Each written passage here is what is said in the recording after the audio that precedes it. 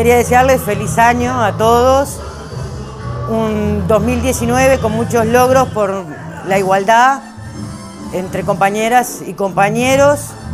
Bueno, arriba EBU, arriba el PIT-CNT.